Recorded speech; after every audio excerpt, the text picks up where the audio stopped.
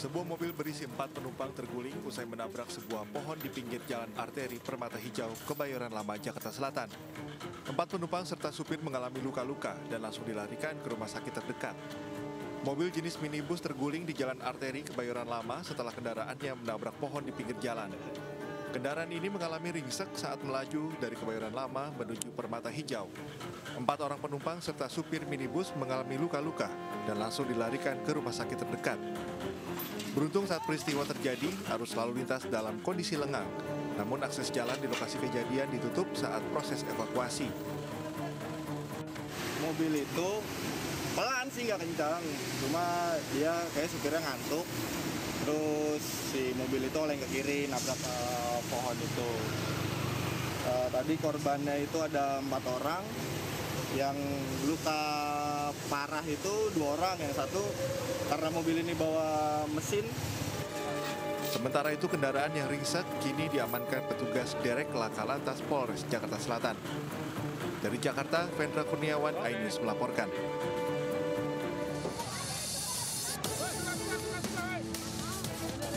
Puluhan warga langsung mengepung dan merusak sebuah mobil minibus yang melarikan diri ke dalam area kampus UMI Makassar setelah menabrak sejumlah pengendara yang melintas di Jalan Urip Sumoharjo, Kota Makassar, Sulawesi Selatan.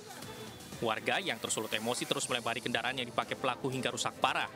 Pelaku yang masih berada di dalam kendaraan juga ikut terkena lemparan batu. Aparat kepolisian unit Patmor Polda Sulawesi Selatan yang tiba di lokasi sempat kewalahan saat akan mengevakuasi pelaku dari pos security menuju mobil patroli lantaran warga terus berupaya menghakimi pelaku. Sebelumnya kendaraan minibus yang dikendarai pelaku baru saja menabrak sejumlah pengendara motor dan mobil yang melintas di Jalan Urip Sumoharjo Makassar. Belakangan diketahui mobil yang digunakan pelaku merupakan kendaraan hasil rampasan dari salah seorang warga saat singgah mengantar istri untuk belanja di pasar tradisional di Jalan Sunung. Pelaku meninggalkan satu unit motor yang juga baru saja dicuri di Jalan Barukang. Diambil paksa. Diambil paksa, Pak? Iya. Terus gimana awalnya, Pak? Awalnya kan saya lihat memantong itu orang dari kaca spion belakang, dia seluruh kancing bajunya tidak terpasang, terbuka. Terus Terus saya belok, saya kasih turun istriku, dia langsung ke samping. Turun, turun. Saya eh, ada apa pak? Ada apa? Turun. Nah saya kan tidak mau kita ini namanya tidak mau ribut. Saya turun, diambil kunciku dia balari nih. berlari mobil? ditumbur mau lari ke sana pintu pagar ini pak terbuka masuk di situ Masuk di sini. ya saya di sampingnya situ banyak kendaraan pengen tabrak banyak ya begini ini Banyak mobil ditabrak, motor ditabrak. banyak Akibat kejadian ini, satu korban tabrak lari harus dilarikan ke Rumah Sakit Ibnu Sina Makassar karena luka serius. Unit Laka Lantas Polrestabes Makassar masih melakukan identifikasi, termasuk olah TKP, dan meminta keterangan sejumlah saksi di lokasi kejadian. Dari Makassar, Sulawesi Selatan, Julius Win, iNews melaporkan.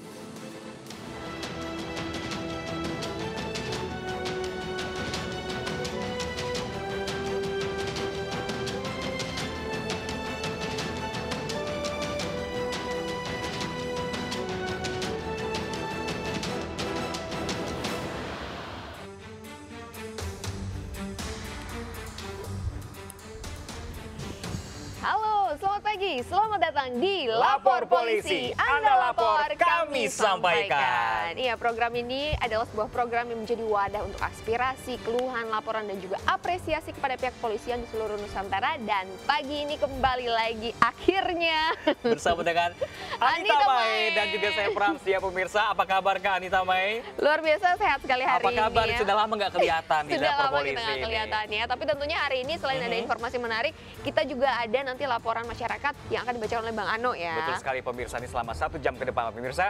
Kami juga membahas sejumlah topik hukum dan kriminal menjadi topik hangat pembicaraan masyarakat di sekitar kita dan juga di media sosial. Ya, kami juga membuka laporan pengaduan masyarakat yang bisa diakses kapan pun oleh Anda untuk kami melalui sejumlah channel kami, yaitu di Instagram resmi kami at lapor polisi underscore iNews dan juga at official iNews TV. Nah pemirsa ini Anda juga bisa menghubungi kami melalui email kami pemirsa di laporpolisi.ais@gmail.com dan jangan lupa pemirsa selalu menggunakan hashtag Lapor Polisi. Dan seperti biasa pemirsa, informasi pertama kami awali dari Jawa Timur. Pemirsa ada dua pelaku balap liar di Jalan Desa Watu Kendongo, Kecamatan Pungging, Kabupaten Mojokerto mengalami luka parah karena bertabrakan sesedang aksi adu balap liar. Nah, ini sebenarnya aksi ini tidak boleh gitu dilakukan ya. Harus ada pengawasan dari uh, warga sekitar Betul. juga ini ya. Dan keduanya ini langsung dibawa ke rumah sakit untuk dilakukan penanganan medis lebih lanjut.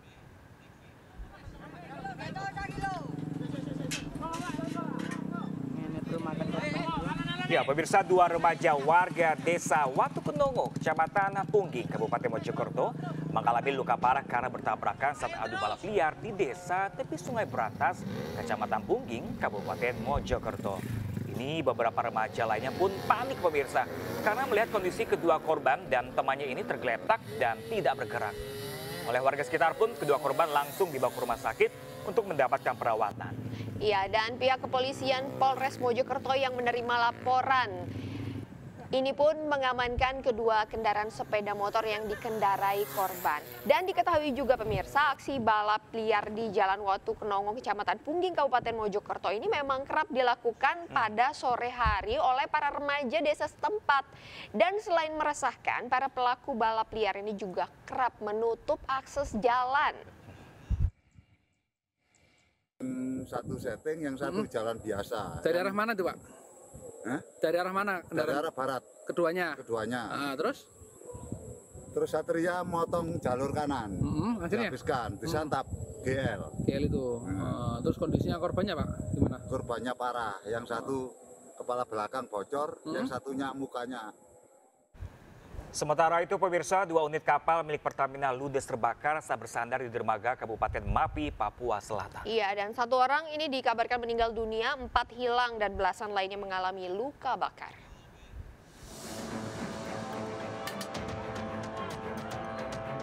Dua unit kapal yang bersandar di dermaga milik Pertamina Distrik Asyue Kabupaten Mapi terbakar pada Kamis dini hari. Diketahui api berasal dari kapal kayu purnama yang sedang berlabuh di sebelah kapal minyak LCT milik Pertamina. Tiba-tiba api muncul dan menyambar ke kapal minyak sehingga api semakin besar serta menimbulkan ledakan dan membakar bodi kapal LCT.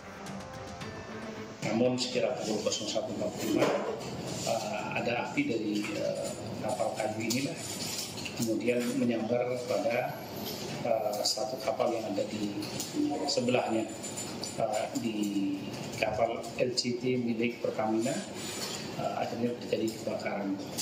Dari peristiwa kebakaran itu uh, rekan-rekan kami dari Polsek dan rekan-rekan masyarakat yang ada di sekitar uh, dermaga turut membantu memadamkan api. Akibat peristiwa ini satu orang meninggal, empat orang belum ditemukan dan 11 orang lainnya mengalami luka bakar. Kini peristiwa ini telah ditangani Satuan Reskrim Polres Mapi dengan memeriksa sejumlah saksi. Sementara itu untuk korban yang hilang belum ditemukan dalam pencarian oleh personel gabungan. Dari Jayapura, Papua, Edi Siswanto, iNews melaporkan. Ya pemirsa ini masih dari informasi kebakaran pemirsa diduga akibat korsleting listrik satu unit rumah warga di kota Makassar ludes dilalap api. Iya, dan pemilik rumah yang tiba di lokasi ini menangis histeris hingga jatuh pingsan.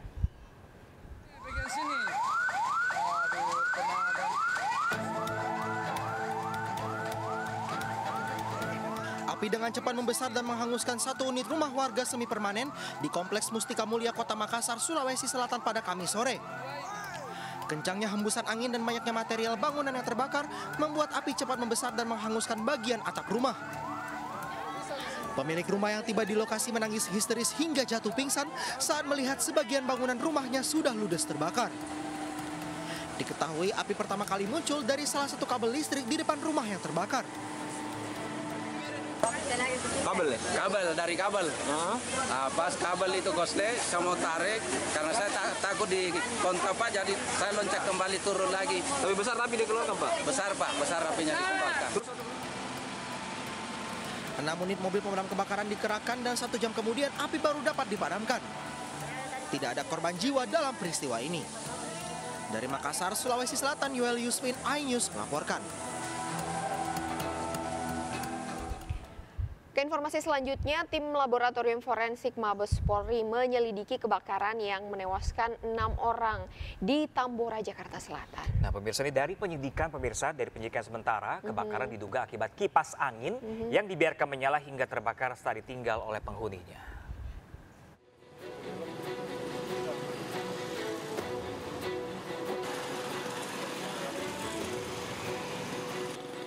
Tim Laboratorium Forensik Mabes Polri selidiki penyebab kebakaran Indekos yang menewaskan enam orang di Jalan Duri Selatan 1 Tambora, Jakarta Barat.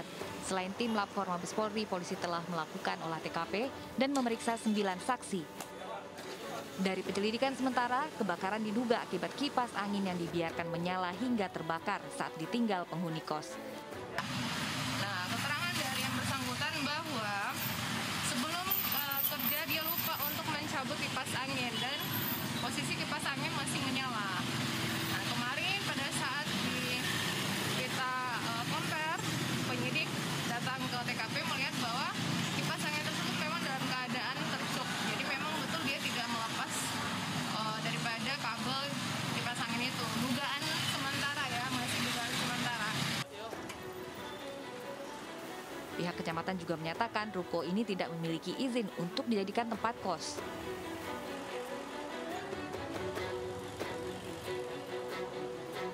Menyayangkan pada pemilik rumah.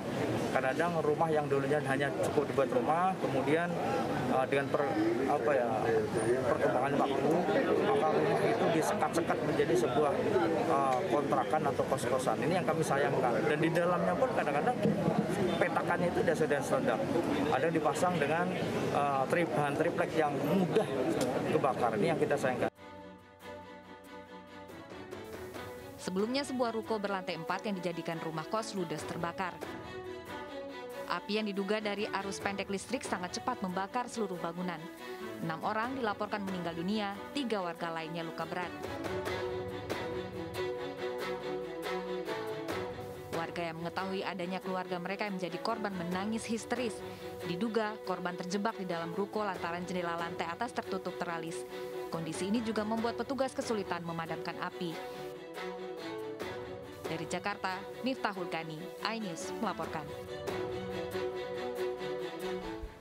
Pemirsa, sementara itu sebuah mobil rusak parah setelah ditabrak kereta api di perlintasan tanpa palang pintu di Asahan, Sumatera Utara. Iya, dan dua orang meninggal dunia akibat kejadian tersebut.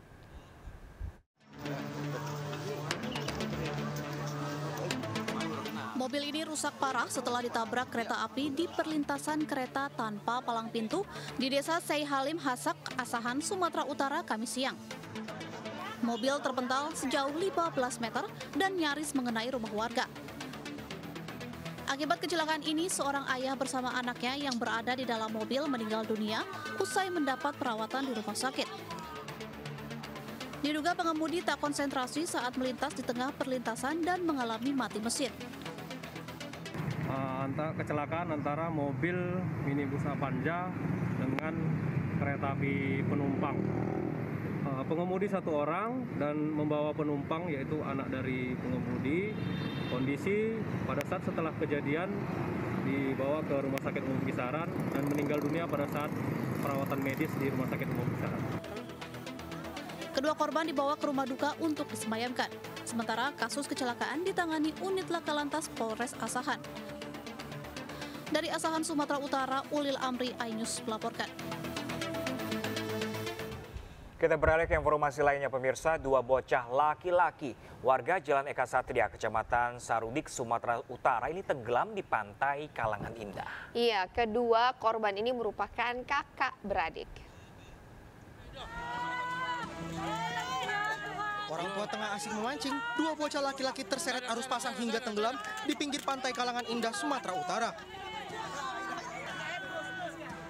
Mengetahui anaknya tenggelam, orang tua korban berupaya menolong salah satu anaknya yang ditemukan oleh warga sekitar.